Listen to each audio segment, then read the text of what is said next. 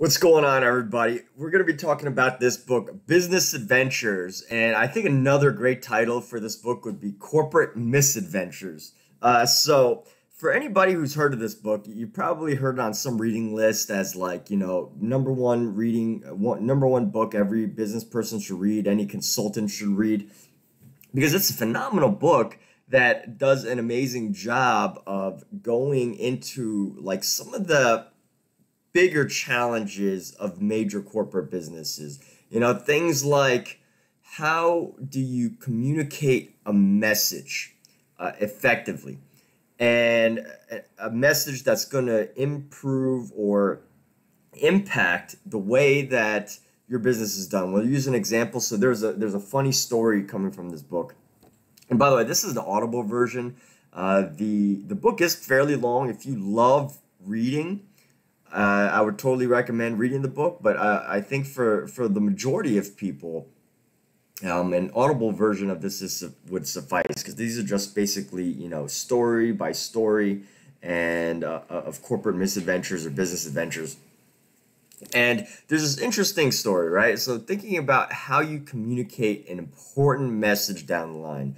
There's one story about a company in this book, in uh, Business Adventures, about a company dealing with I think it was like like bribery or something. And when it came to that bribery, obviously bribery is not good. Obviously, you know, you, you don't do it in, in uh, American business. Now, uh, I think I think bribing people is acceptable in some other cultures, but in American cultures, it's it's illegal. And uh, the story goes basically like the upper management had communicated that not to do it.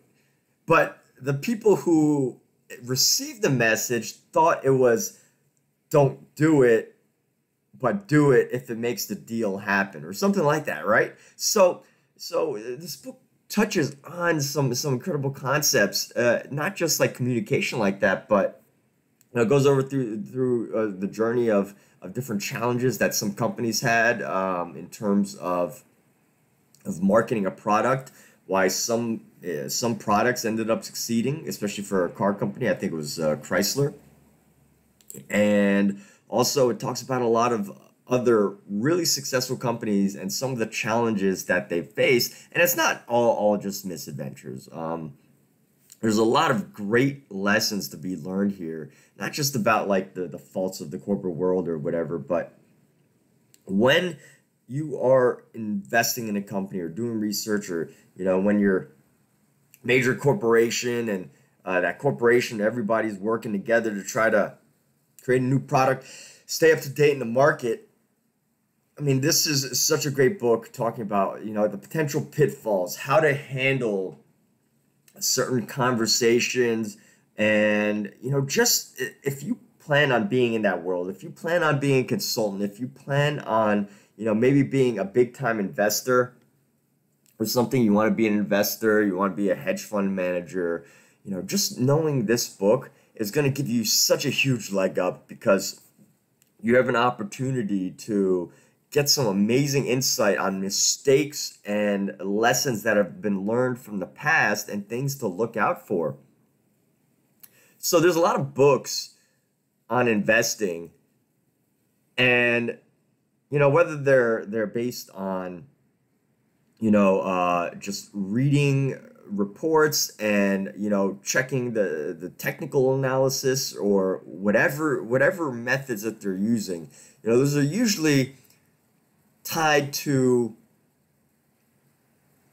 tied to reports. You know reports given to or or the the value of the company and then reports and financial analysis. But the thing is is that a lot of the value of a business is tied to way more than the, what's revealed to the public.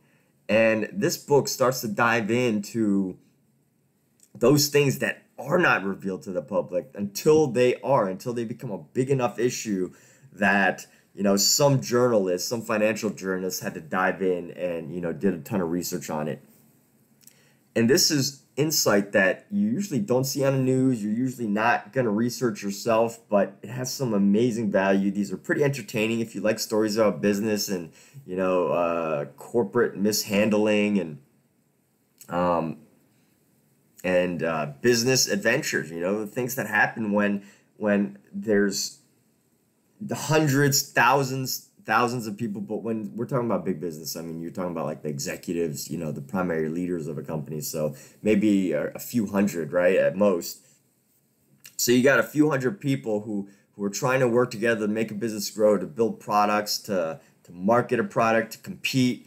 Everybody's got a different personality. Everyone's got their own ambitions. Uh, you know, it would be great if everybody wanted to, uh, their sole mission was to improve the company's bottom line and everybody was aligned, but that's not the way it works. So, to just be able to read this book and hear about some of the potential mishaps and some of the lessons and, you know, some of the things that can, can be done right. And even, and to realize that even, you know, when things are done right, there's just that tiny, that one piece of information that can, that can make or break something and this uh, this book goes into many of those um, as it relates to you know if you're a consultant if you're gonna be a, a big time investor i'm not talking about you know somebody that just wants to like buy one or two stocks or you know just wants to keep up to date on uh, on their portfolio. But literally you know people who are gonna be um, institutional I think it's called institutional investors. You know, people that are going to be investing tons of money. You know, at least a hundred million dollars or so. Um, you're going to be doing research into companies. You're going to be, and that was just an arbitrary number. Maybe the, the, the starting point for institutional investing is like 10 million. I don't know.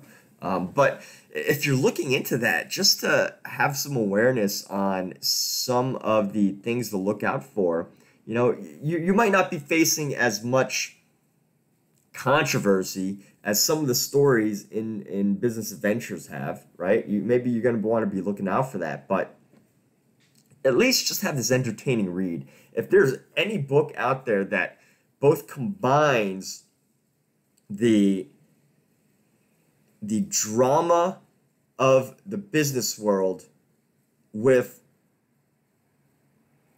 uh, in an entertaining way while also making it informational and educational. I, I think this book does it very, very well. It's on a lot of great reading lists. I think it's on Bill Gates and uh, Warren Buffett's reading lists if you ever try to look those up. Um, and just a phenomenal book, phenomenal uh, listen. Now, if you're not as interested in in uh, actually reading it. I think this this book does an amazing job. It, it's great because this book was written quite quite a long time ago, but it still does an amazing job of capturing um, being well read on Audible. It flows very well on Audible.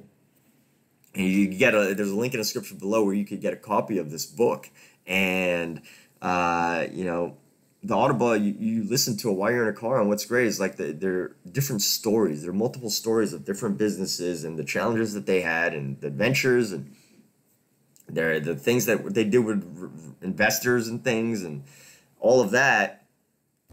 So it's a great listen as well. Now, if you want a great read, uh, it is a very long book. As you can see right here, it's it's two parts. I think they're like 12 hours each. Um, and of course, you know, with books like these, you always have the opportunity. What one thing that's great is you always have an opportunity to have a reader to speed up the reading and to listen to it uh, fairly quickly. You know, double double to one point five times or two times, and uh, try to follow along and you know take out the parts that you want from it and learn from it. But this this really is entertaining. Not just and, and not even from like that reality tv standpoint of like drama and wanted to hear about corporate intrigue and and you know controversy. Not even just from that standpoint. I mean that that in itself is is fun to to hear but also from the lessons that you're going to learn lessons that you're going to learn about marketing the lessons that you're going to learn about communicating with investors the lessons that you're going to learn about you know taking an extra step to find just a little bit more data when there's a lot on the line. Um, taking that extra step to make sure that you're drilling down the right message and there's no misinterpretation of your message. So, uh, very important lessons in this Audible book. Uh, also, you can order it as a regular book as well. Fantastic read. Check it out. Link in the description below. And uh, with that, hope you have a wonderful day. Thank you so much for watching this review of uh, business adventures or corporate misadventures. Uh, definitely, definitely some wonderful uh, advice and stories in here if you're in business. Have a wonderful day, and thank you for listening.